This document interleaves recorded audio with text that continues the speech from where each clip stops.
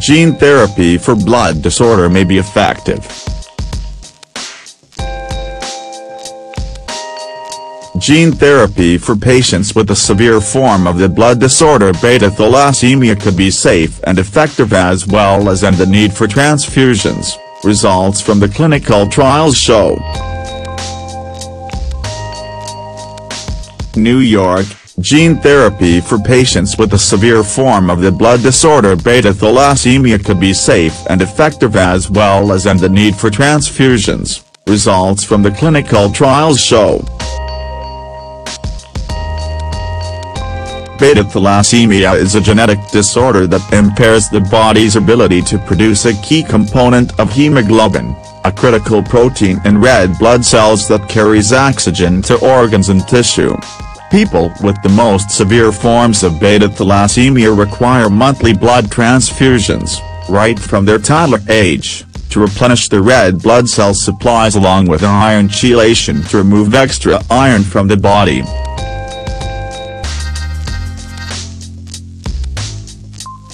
Frequent transfusions, however, can cause serious complications due to iron toxicity and viral infections.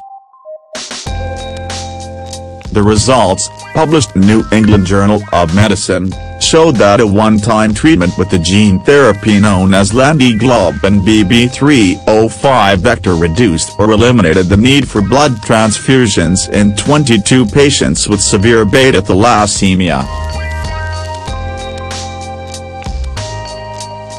We saw remarkable outcomes using Lenti-Globin gene therapy, with most patients no longer needing monthly transfusions, said lead author Alexis Thompson, from Ann and Robert H. Lurie Children's Hospital of Chicago. These study results exceeded our expectations with clinical benefit for nearly all patients and suggest that gene therapy may be an effective treatment for thalassemia in the future, Thompson added. Of the 22 patients aged between 12 and 35 years, 15 patients achieved transfusion-free status, while others needed transfusions less often.